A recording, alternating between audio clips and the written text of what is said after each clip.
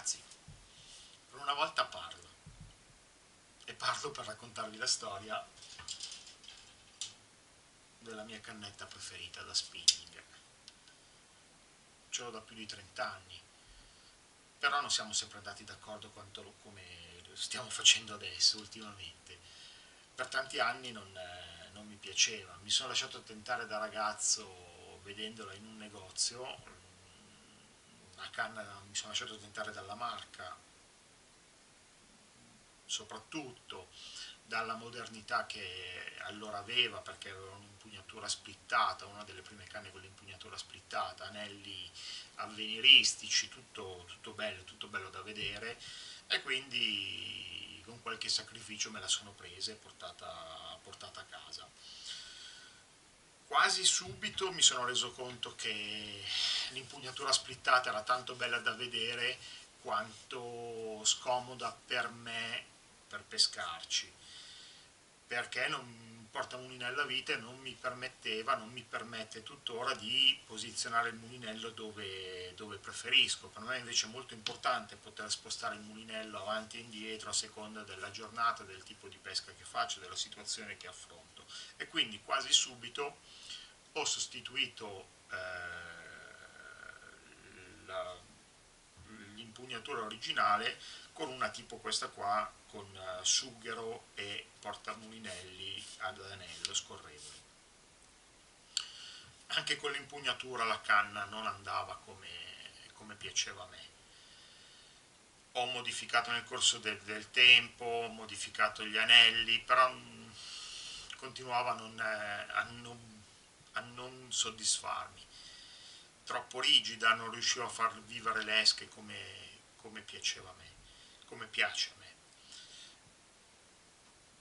E quindi nel corso degli anni questa canna qui è diventata la canna di, di scorta, la canna che tenevo nel bagagliaio, se serviva, se serviva, se succedeva qualcosa di strano la tiravo fuori, ma praticamente non ricordo mai che, che, che sia successo.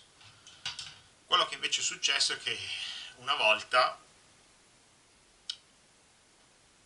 mm, non chiedetemi come, è finita chiusa nello sportello, nel bagagliaio, nello sportello del bagagliaio e la canna si è rotta, si è rotta qui e tra un po' vi faccio vedere la rottura, l'ex rottura.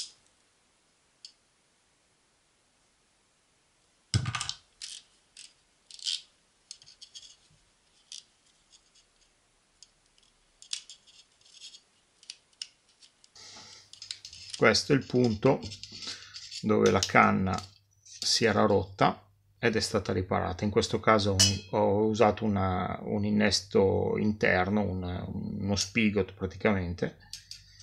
In questo caso qua è cambiato, da questo punto in avanti il materiale è diverso, un pochettino più morbido ed è quello che mi ha fatto svoltare la canna.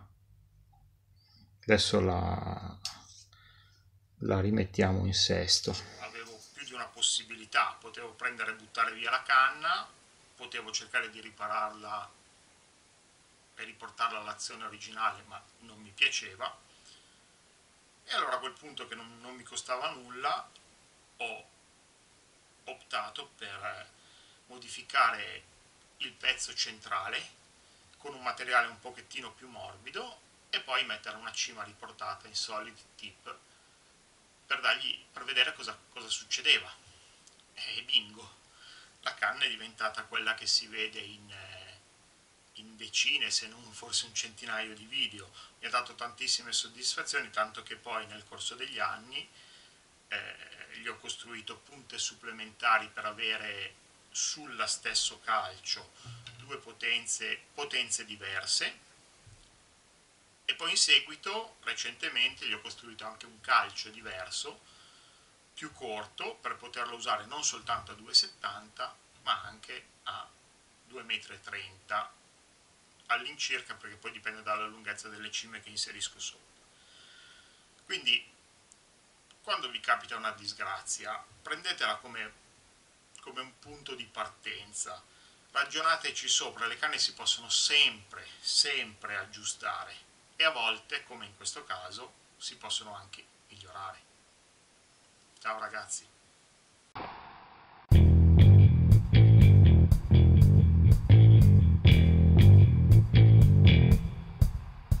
Uh-uh.